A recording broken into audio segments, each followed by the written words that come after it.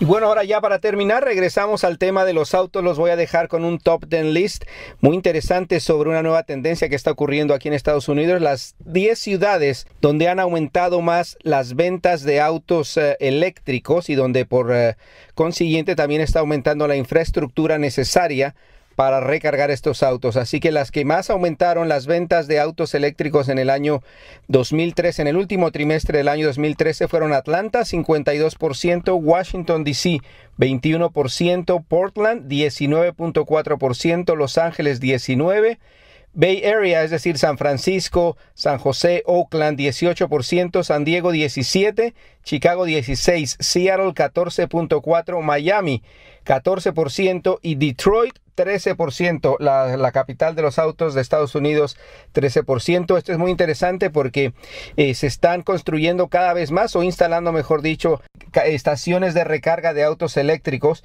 Eh, en la actualidad hay unas 20 mil, se espera que para el final de 2014 aumente al doble.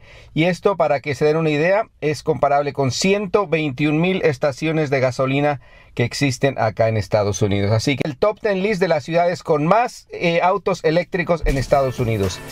Yo soy Javier Mota y los invito a que me sigan en Twitter, arroba Javier Mota, en Facebook y también en el canal de YouTube Autos Javier Mota para que vean todos los temas de lo que hemos hablado en este show. Y los espero en la próxima edición de Auto 060 aquí en Cristina Radio Network.